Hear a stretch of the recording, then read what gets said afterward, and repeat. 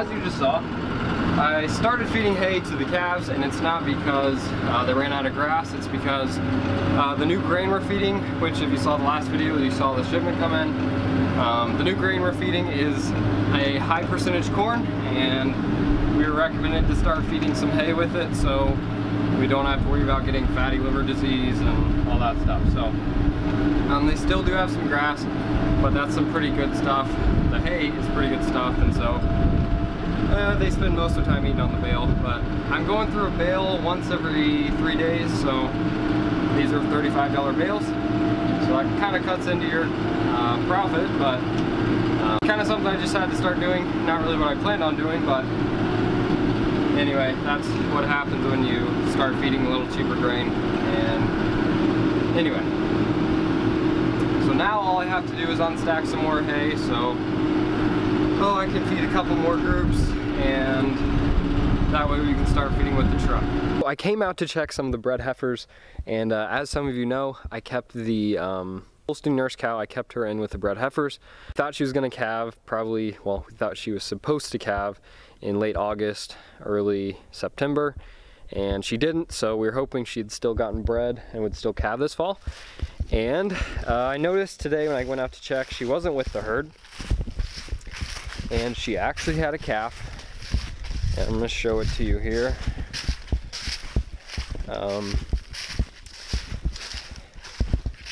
is almost exactly I mean coloring I mean size everything is almost exactly like the one she had last year.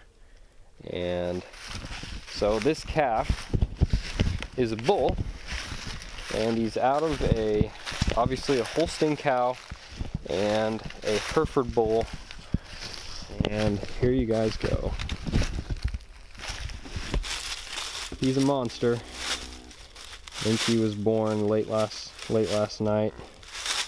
And anyway, she's a pretty good mama. Not too worried about her taking care of him at all. And as you guys know, she's a nurse cow. So she, since she's a dairy cow, she can definitely support multiple calves with that big of an udder. Even though she only has three good quarters, um, now we can at least have two calves on her at all time. And last year she raised six for us, so that's what we're going to try to do again this year. And this time we're actually going to preg check her and make sure she's bred this time and not bred late. So, um, as you guys know, we don't AI on this farm. Everything is naturally bred. We don't use any hormones or anything like that. It's just cows get bred when they get bred. And she just happened to get bred late. So um, he's clearly already found the udder. He knows how to drink. So um, I'm going to call the guy that I got those Simmental calves from this last fall and see if he's got any. I know the guy that I got the solid black calves from, he doesn't have any right now. He'll have some more January, but we need one as soon as possible. So I'm gonna call that guy and hopefully he's got one or two available. This is one of the downsides of when they calve in the woods. Baby calf has to learn how to walk over a bunch of sticks and logs or walk through a briar patch right there.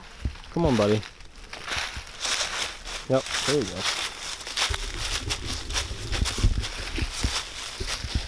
Okay, so this is the following day, and we picked up this guy right here. Um, he's the one that kind of matches the rest of the cows the most.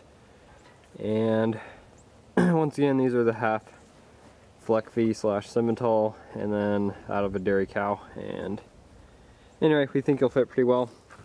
I got her home, and her calf is down there. She left him on the way in, but um, we're going to try to stick him in here with her and see if he will suck. He hasn't drank this morning, so we're hoping that will kind of uh, entice him to suck on her a little bit more than he would if he was full. So um, I gave her a little bit of grain. We'll see if this works.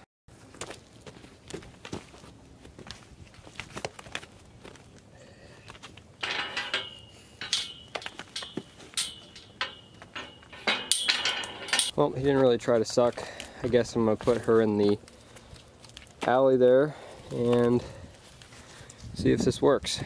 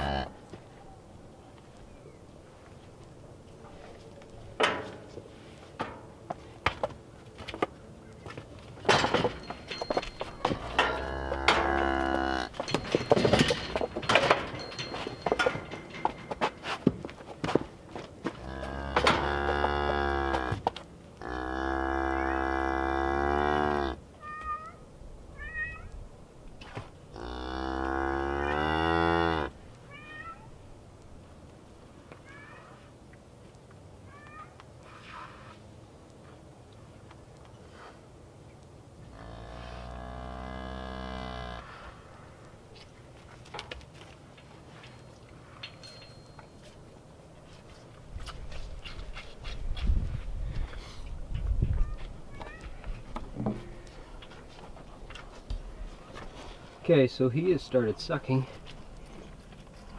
And she hasn't really kicked him too bad. At least he knows where he's going. So you can see the size difference here. Even though he's two days old and he is like five. That guy's a whopper, he's huge. Probably weighs 90 some pounds. Anyway, obviously this went a little better because I know he's used to drinking cow's milk and he hasn't been off the cow that long. So, um, but anyway, if you guys have seen this before, seen me do this before, I'm just gonna do this for a couple of days and then I will keep them all pinned up together and hopefully within a couple days she will accept him and she'll have to raise two calves for us. So now he's back on. And he, he went for the back quarter this time. Now he's on nothing. But this cow, obviously she's just come into milk in the last couple days and so um, we got to milk her out, make sure she's cleaned out and one calf wouldn't do that so that's why we're putting more multiple on here because she's got more milk than she can handle and I think all of them have had enough of this and I'm going to let her out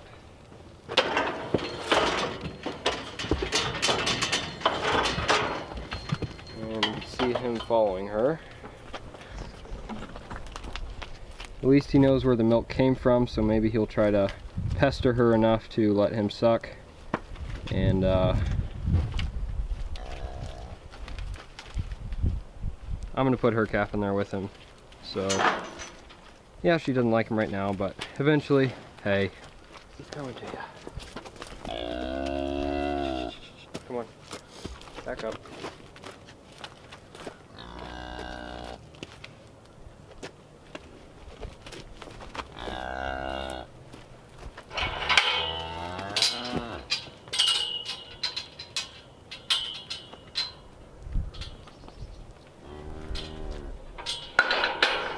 He's still pestering her, which is good. Anyway, I'm gonna give her some hay. I'm gonna put some straw down in here and give her some more grain and water and then, it's just a waiting game and then I'll come back this evening and put them in a pen. Oh, I'll put them in the chute again if she hasn't let them start sucking yet. Like I said, I will update you guys and hopefully within two or three days she will have accepted him and she'll raise two calves for calves for us. So hasn't milked her dry, but between two calves, I think they'll do pretty well. And we got another animal that wants some milk. One of the little kittens found her way over here. So I'm gonna get all get them all bedded up. And anyway, with that being said, thank you for watching, and I will see you all next time.